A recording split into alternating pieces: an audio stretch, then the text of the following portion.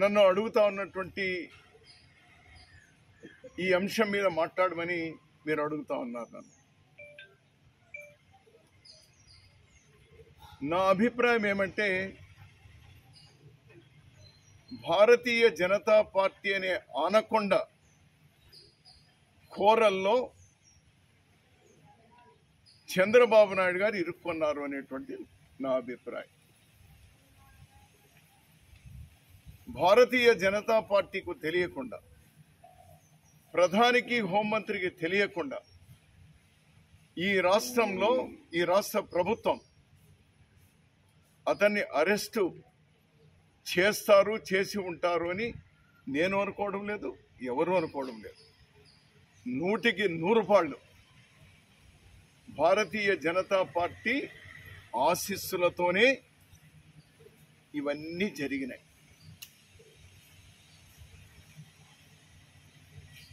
వాళ్ళ ఆశీస్సులు లేకుండా పోతే ఇవి జరిగే కాదు అని నేను గట్టిగా నమ్ముతున్నాను. నాకున్నటువంటి ఒక ముప్పై నలభై సంవత్సరాల డైరెక్ట్ పాలిటిక్స్లో. కారణం ఏమంటే ఈ రాష్ట్రంలో ఉన్నటువంటి కాంగ్రెస్ కమ్యూనిస్టులు తప్పనిస్తే మిగిలిన అన్ని పార్టీలు బీజేపీకు జీ హుజూర్ అనేటువంటి పార్టీనే. అది పాలకపక్షం కావచ్చు ప్రతిపక్షాలు కావచ్చు. అందరూ వాళ్ళతో వాళ్ళ ఆశీస్సుల కోసం సాగిలపడేటువంటి వారే.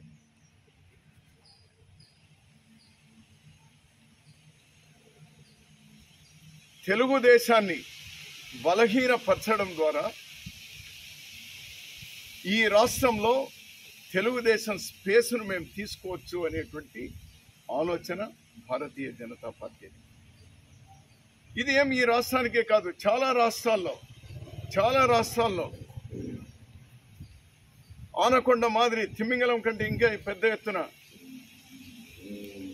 అక్కడ తిమింగలాల్లా మింగినారు ఇక్కడ ఆనకొండగా తయారైనారు.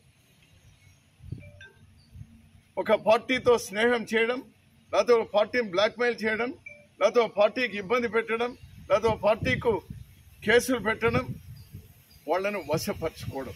అదే జరుగుతుంది.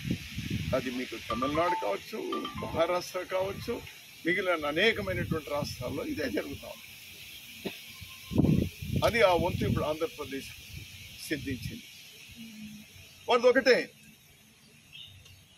ఎన్టీ రామారావు గారిని డిజోన్ చేసినటువంటి వారు ఎన్టీ రామారావు గారు బతికుండి ఎన్టీ రామారావు గారిని డిజోన్ చేసి చంద్రబాబు నాయుడు గారిని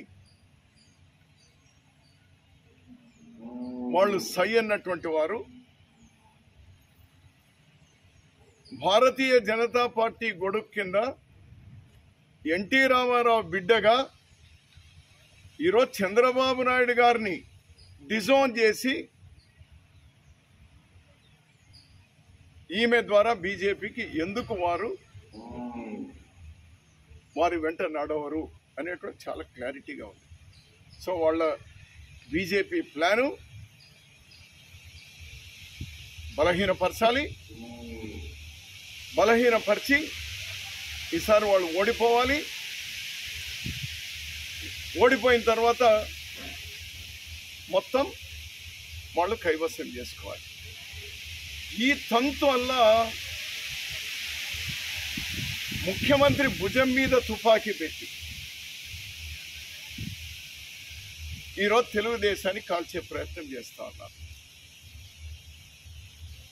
ఒకరిని కాల్చి ఆ పొజిషన్లోకి వచ్చిన తర్వాత మళ్ళీ అదే తుపాకీతో ఇప్పుడున్నటువంటి పాలక పక్షాన్ని కూడా టైం అంతే ఆరు నెలల సంవత్సరమా రెండేళ్ళ కాల్చాలి అని చూస్తారు. ప్రభుత్వాలు ప్రభుత్వాలని పార్టీలు కాదు ప్రభుత్వాలు ప్రభుత్వాలని కబళించేటువంటి శక్తివంతమైనటువంటి ప్రక్రియలో ఈరోజు భారతీయ జనతా పార్టీ నడుస్తా అదే ఇక్కడ కూడా నడుస్తుంది. లేదు రెండవది ఈ విధంగా భయపెట్టడం ద్వారా భారతీయ జనతా పార్టీ అండదండలు లేకుండా పోతే మీరు మనలేరు అనేటువంటి దాంతో సీట్లలో వారికి కావాల్సినటువంటి సంఖ్యకైనా వాళ్ళు ప్రయత్నం చేస్తూ ఉండాలి. ఈ రెండిట్లో ఏదో ఒకటి జరగబట్టే ఆ ఉద్దేశంతోనే ఆ కుట్రతోనే ఇది జరుగుతుంది. Home minister Bharatiya Janata party విసిరినటువంటి వలలో తెలుగుదేశం పార్టీ చంద్రబాబు నాయుడు పడ్డారు అనేటువంటిది ఇప్పటికైనా వాళ్ళు గమనిస్తే మంచిది. ఇంకోటన్నా ఇండియా